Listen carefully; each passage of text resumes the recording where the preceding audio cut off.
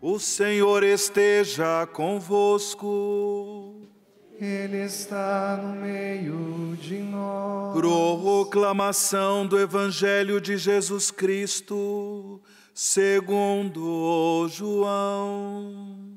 Glória a vós, Senhor.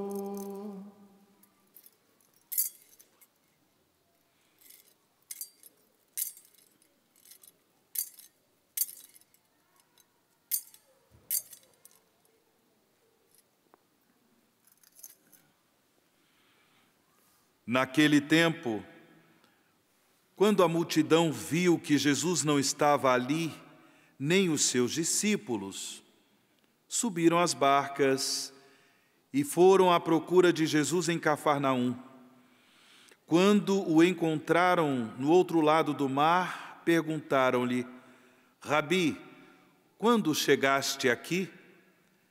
Jesus respondeu: Em verdade, em verdade eu vos digo, Estais me procurando não porque vistes sinais, mas porque comestes pão e ficastes satisfeitos. Esforçai-vos não pelo alimento que se perde, mas pelo alimento que permanece até a vida eterna e que o Filho do Homem vos dará, pois este é quem o Pai marcou com o seu selo. Então perguntaram: Que devemos fazer para realizar as obras de Deus? Jesus respondeu: A obra de Deus é que acrediteis naquele que ele enviou. Eles perguntaram: Que sinal realizas para que possamos ver e crer em ti? Que obra, que obra fazes? Nossos pais comeram maná no deserto, como está na Escritura: pão do céu deu-lhes a comer. Jesus respondeu: Em verdade, em verdade vos digo, não foi Moisés quem vos deu o pão que veio do céu. É meu Pai que vos dá o verdadeiro pão do céu. Pois o pão de Deus é aquele que desce do céu e dá vida ao mundo. Então pediram: Senhor, dá-nos sempre desse pão. Jesus lhes disse: Eu sou o pão da vida.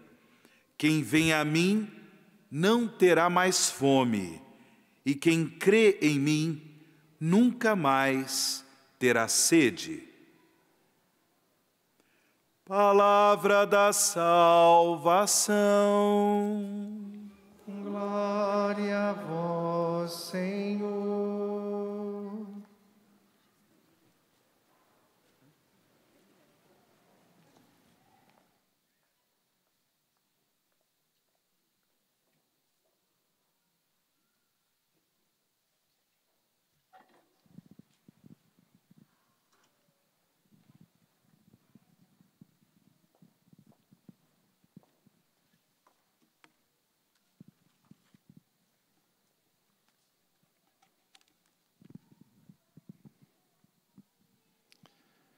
Inicio saudando ao Monsenhor Jonas Abib, que está aqui próximo de nós, em sua residência, e reza conosco. Monsenhor Jonas, receba a minha saudação fraterna.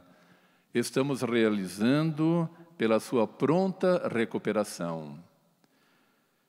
Saudo também a Kátia Zavariz, que é a coordenadora do Serviço Brasileiro de Comunhão do CARIS. Saúdo também ao padre Wagner, que é membro do CARIS, e ao reitor aqui do Santuário Pai das Misericórdias. Também ao padre André, que concelebra aqui conosco, que é da comunidade Mar Adentro. Saúdo a todos que estão presentes aqui no Santuário Pai das Misericórdias, também aos seminaristas e a você que nos acompanha pelo sistema Canção Nova de Comunicação. Graça e paz da parte de nosso Senhor Jesus Cristo a todos. Irmãs e irmãos, com esta celebração eucarística, nós estamos encerrando a primeira Conferência Nacional do Serviço Brasileiro de Comunhão do CARIS e toda a corrente de graça que tem como tema: Levantai os vossos olhos, os campos estão brancos para a colheita. Nós sabemos, o CARIS é um novo serviço para a renovação carismática católica, pedido pelo próprio Papa Francisco, iniciado na solenidade de Pentecostes de 2019 ele serve a todas as realidades carismáticas e nenhuma delas tem prioridade sobre as demais. Em nenhum país pode uma comunidade, um grupo, uma organização ou um movimento atribuir-se à liderança da renovação carismática católica. Portanto, o cáris é um serviço de comunhão que reúne todas as realidades carismáticas da Igreja, sem que nenhuma delas predomine sobre as demais. A renovação carismática se apresenta em todas as partes como uma corrente de graça. Foi o próprio Papa Francisco que usou a expressão corrente de graça durante sua reunião com a RCC no Estado Olímpico de Roma em 2014. A renovação carismática não deve ser um movimento, mas uma corrente de graça chamada a vivificar toda a Igreja. Essa expressão também indica melhor sua diversidade de componentes. São grupos de oração, comunidades, escolas de evangelização, ministérios, editoras, canais de televisão, como a TV Canção Nova, que tem uma inspiração carismática que brotou no coração do Monsenhor Jonas todos partilham a mesma graça do batismo no Espírito Santo. Os estatutos do Caris enfatizam três dimensões. A primeira, a difusão do batismo no Espírito Santo, como pede o Papa Francisco. Que se partilhe o batismo no Espírito Santo com todos com todos na igreja. Foi a graça que vocês receberam. Compartilhai-a, não a conservais somente para vós. A segunda dimensão, a unidade dos cristãos. Como pede o Papa, que sirva a unidade do corpo de Cristo, que é a Igreja, comunidade dos crentes em Jesus Cristo. Isto é muito importante, porque o Espírito Santo é aquele que realiza a unidade na igreja, mas também a diversidade. É interessante a personalidade do Espírito Santo. Ele faz a maior diversidade com os carismas, mas depois faz com que estes carismas em harmonia se encontrem em unidade. Maior diversidade em plena unidade. Pois, como diz São Basílio, o Espírito Santo é a harmonia, dá a harmonia na Trindade e também entre todos nós. A terceira dimensão é o serviço aos pobres. Essas dimensões estão a serviço da evangelização, a qual a renovação é chamada pelo Santo Padre e com a qual está comprometida. Também o serviço aos pobres não é uma novidade. Contudo, o novo é que se estimule explicitamente a todos os carismáticos a servirem aos pobres e necessitados. Isso não deve nos surpreender, pois o Espírito Santo é amor. É normal que aqueles que querem depender totalmente dele sejam testemunhas do seu amor. É por isso que o serviço aos pobres é central na renovação. Pede o Papa Francisco é que sirva e que sirva os pobres, os mais carentes de qualquer necessidade, física e espiritual, com o pão da palavra e o pão da Eucaristia. Isto não significa que, como alguém pode pensar erroneamente, agora a renovação se tornou comunista, diz o Papa. Não, tornou-se evangélica. Isto está no Evangelho. São estas as três missões que o Santo Padre confiou ao Cáris para toda corrente de graça.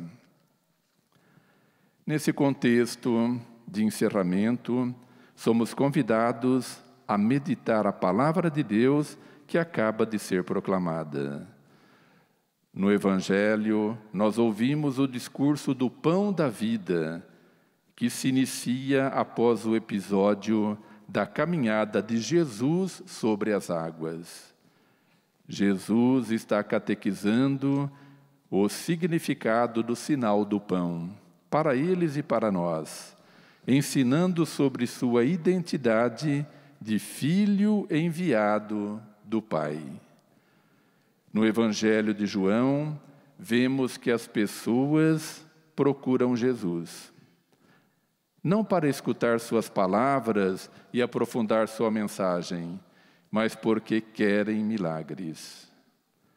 Hoje também, muitos vão procurar portas que prometem milagres, uma religião mercado que satisfaça os interesses materiais e imediatos. Estás me procurando não porque viste sinais, diz Jesus, mas porque comestes pão e ficastes saciados. Jesus aqui critica estas atitudes e sugere outra procura, através da fé. Esforçai-vos não pelo alimento que se perde, mas pelo alimento que permanece até a vida eterna. Somente Deus pode saciar nossa fome de Cristo, nossa fome de vida. O encontro com Cristo na comunidade e principalmente na Eucaristia é o momento em que preenchemos nosso coração insatisfeito e vivificamos nosso espírito. Há aqui uma pedagogia de Jesus no ensinamento deste domingo. Jesus parte de um acontecimento bonito para explicar uma realidade silenciosa que é vista unicamente pelos olhos da fé. Enxergar a fartura dos pães não é o suficiente. Cabe a cada um de nós reconhecer que Jesus constitui o verdadeiro pão do céu, enviado por Deus para a salvação da humanidade. É necessário passar do evento à fé, que atua na história humana através da ação do Espírito de Deus.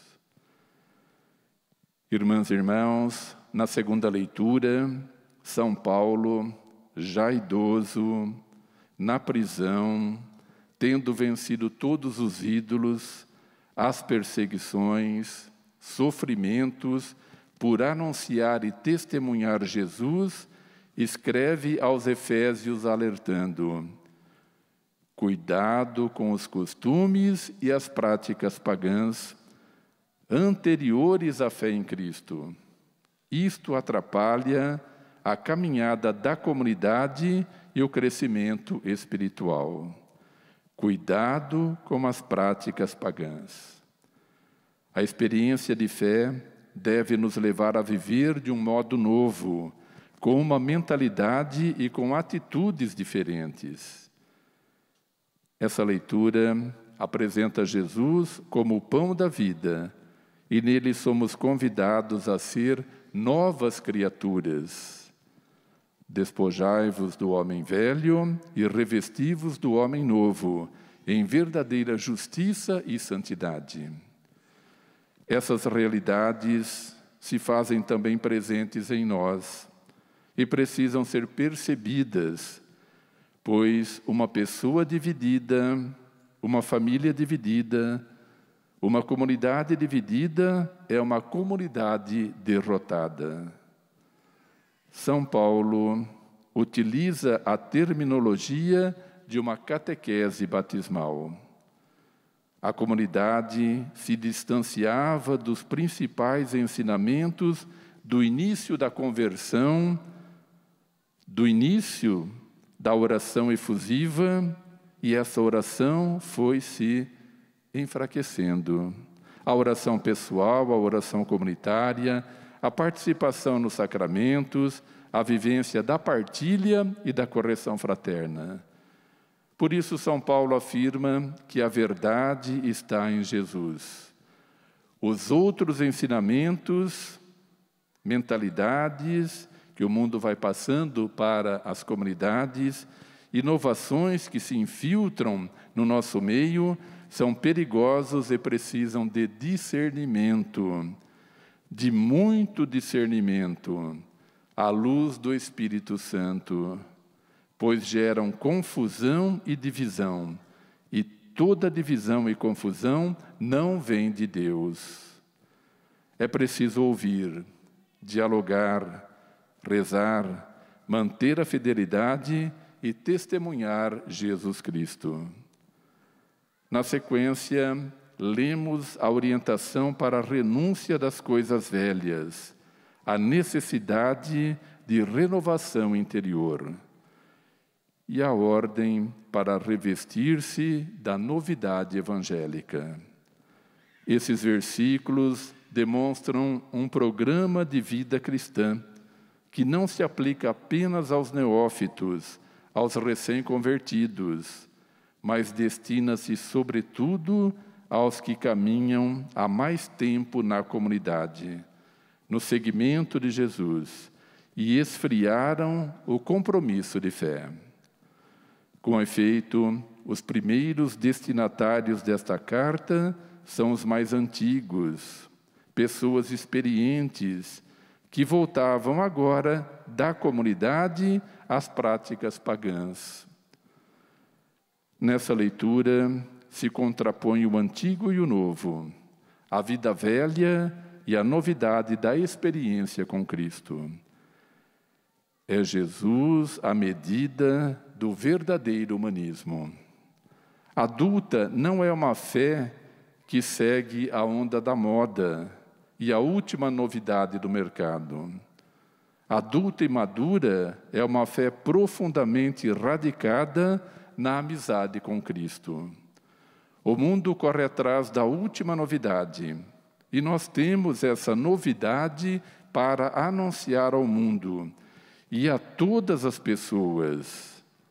Essa novidade é Jesus Cristo, o Filho de Deus, o verdadeiro homem. A liturgia de hoje constitui um momento oportuno para uma autoavaliação é tempo de anúncio, é tempo de graça, é tempo de uma corrente de graça, é tempo da colheita, é o tempo do testemunho, é tempo de mudança. Que o novo normal que estamos iniciando seja viver em Jesus Cristo.